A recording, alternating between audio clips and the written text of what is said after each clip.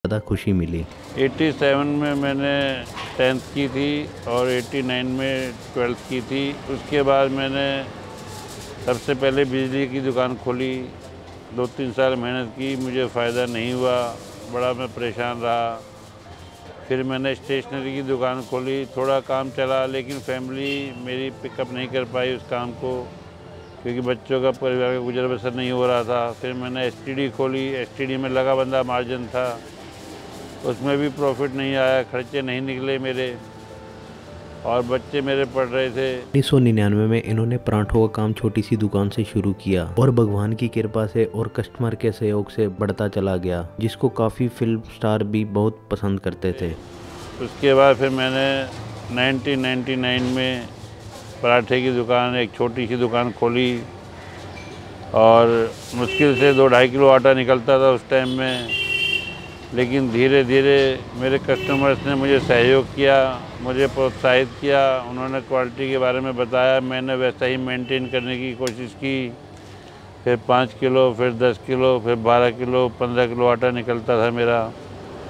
और इस काम में मुझे तरक्की भी मिली, भगवान की कृपा से, और मेरे ग्राहकों का सहयोग भी मिला।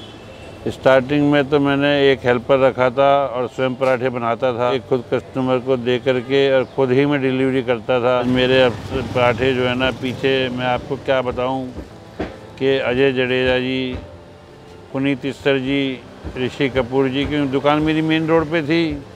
रात को आते जाते जो ना फ़िल्म स्टार्स भी निकलते थे अरविंदो मार्ग से, उन्होंने भी मेरे पराठे खाए हैं। अजय जडेजा जी गुलमो पार्क में उनकी ससुराल है। दोनों हस्बैंड वाइफ एक बार आए थे पराठे खाने हमारी दुकान से। मगर चाहे कितना भी इन्होंने स्ट्रगल किया हो मगर इनकी वाइफ ने इनका हमेशा मनोबल बढ़ाया और आगे बढ़ने की प्रेरणा दी।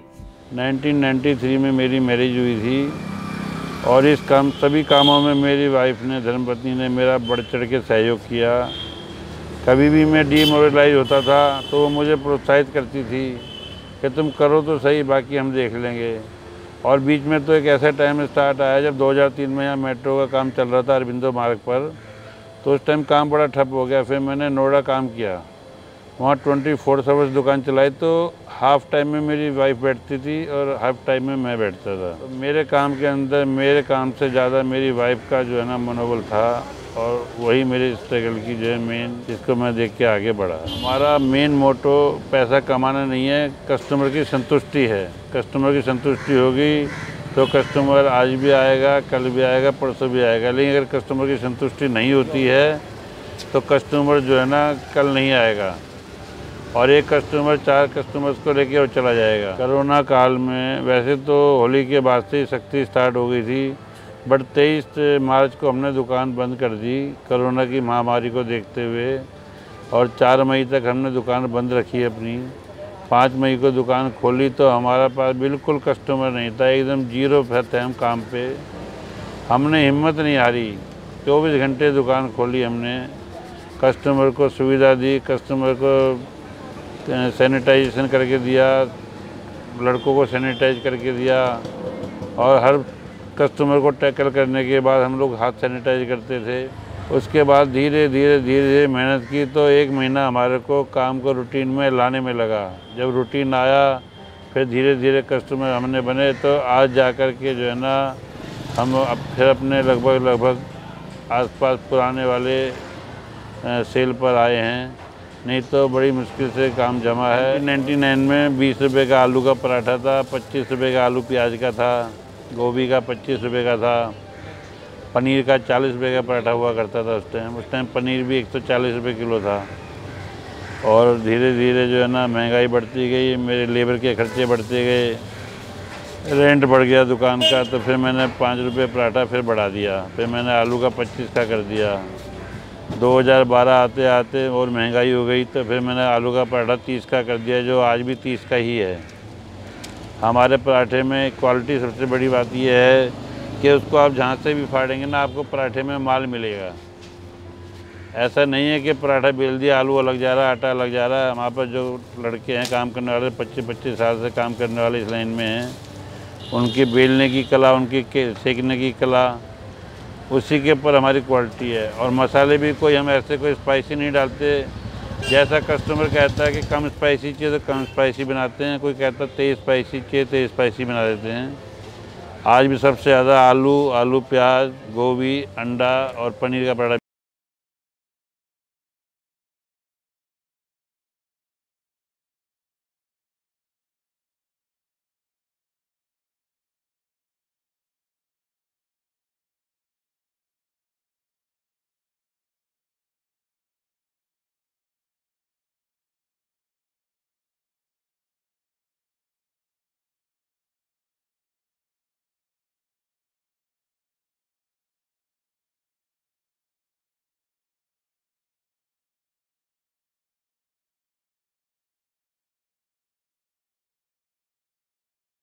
से पहले ये तो बहुत ज़रूरी है, हाथ सैनिटाइज करना। ये हमारे परांठे आ चुके हैं। सबसे पहले मैं इंस्टाग्राम के लिए फ़ोटो ले रहा हूँ। अभी तक आपने मेरे को इंस्टाग्राम पे फॉलो नहीं करा तो फॉलो कर लो। कोई बातचीत करनी होती है, कोई गपशप मारनी होती है तो मैं इंस्टाग्राम पे बात कर लेता हूँ सबके साथ। क्योंकि कमेंट इतने सारे आ जाते हैं तो प्लीज़ मैं उसका रिप्लाई नहीं दे पाता। तो इंस्टाग्राम में आप मेरे साथ बात कर सकते हैं, कोई बात करनी हो तो। ये लो जी इंस्टाग्राम के लिए आ गई अपनी फ़ोटो तो लो जी, अपना आ गया परांठे मैं सबसे पहले स्टार्ट करूँगा चिकन का परांठा। और मैं स्टफिंग दिखाता हूँ। ये साथ में इन्होंने दी अंकल जी हरी चटनी, ये हरी मिर्च, ये अंकल जी का स्पेशल अचार। ये आ गया मक्खन अमूल का। मैं आपको फीलिंग दिखा देता हूँ पहले। ये अंदर देखो। कि अंकल जी ने बोला था, जहाँ से फाड़ोगे वहाँ पे आपको स्टफिंग नज़र आएगी। ये बात तो पक्की है कि परांठे इनके बहुत बढ़िया हैं। अब मैं खा के बताता हूँ। मैंने एक आलू प्याज लिया है। वेज में परांठा जो सबसे हर आदमी का फेवरेट है, वो आलू प्याज ही होता है। और मैंने एक चिकन का लिया है। मैं स्टार्ट पहले चिकन से ही करूँगा। ये आ गया बटर मैंने आधा ही डाला है। अमूल बटर है। इसके अंदर चिकन की स्टफिंग करी है। आपने देखा ही था वीडियो में। मैं खा के बताता हूँ कैसा टेस्ट ये लगाई थोड़ी सी चटनी मिंट सॉस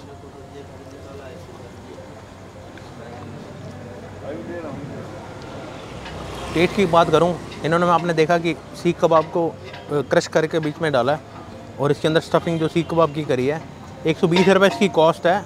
एक सौ बीस रुपये में दस रुपये मक्खन के एक्स्ट्रा मक्खन चाहिए तो। कई लोग मक्खन लेते हैं, कई नहीं लेते। और इन्होंने मेरे को बताया कि हम रिफाइंड में तैयार करते हैं सारे परांठे। लाजवाब, जिसको मैं कह सकता हूँ ज़बरदस्त है बहुत ये दही दी थी अंकल जी ने, मैंने दही नहीं ली, दही के चार्ज एक्स्ट्रा होते हैं बट मैं दही खाने का ज़्यादा शौकीन नहीं हूँ। परांठे के साथ मेरे को चाहिए चाय चाहिए होती है। अंकल जी मेरे लिए एक चाय लगा देना।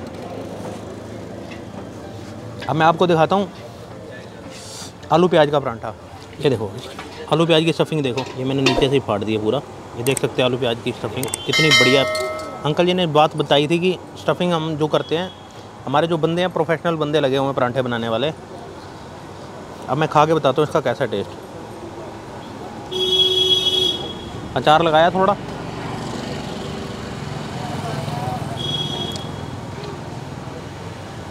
बहुत ही बढ़िया टेस्ट है। मैं हाईली रिकमेंडेड करूँगा, यहाँ पे ज़रूर आएँ। लोकेशन और इनका फ़ोन नंबर मैं डिस्क्रिप्शन में दे दूँगा।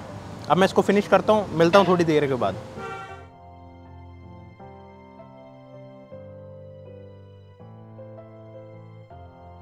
मैंने इनका आलू प्याज पराठा खाया, मेरे को बहुत बढ़िया लगा। मैंने इनका चिकन पराठा खाया। मैं तो चिकन पराठा का तो मैं तो दीवाना हो गया। मैं कभी भी रात के टाइम मेरे को भूख लगेगी ना तो मैं पराठा खाने का मन होगा तो मैं यहाँ ज़रूर आऊँगा। ये जगह पड़ती है गौतम नगर। आप साउथ दिल्ली में आसपास कहीं रहते हैं, गौतम नगर के आसपास तो आप यहाँ पे आ सकते हैं। इनको स्विगी जोमेटो पे भी ऑर्डर कर सकते हैं। और मंगलवार को यहाँ पे नॉनवेज का कोई काम नहीं होता और नवरात्रों में प्याज और नॉनवेज का कोई काम नहीं होता। इनकी दुकान की टाइमिंग है जो शाम को सात बजे से लेके अर्ली मॉर्निंग पाँच बजे तक होती है। ऑफ़ कोई नहीं होता। सेवन डे ओपन है। आपको वीडियो कैसी लगी? वीडियो को लाइक करें। चैनल पे नए हैं तो चैनल सब्सक्राइब करें। अब आपको नई वीडियो में मिलूँगा। तब तक के लिए गुड बाय सत श्रीकाल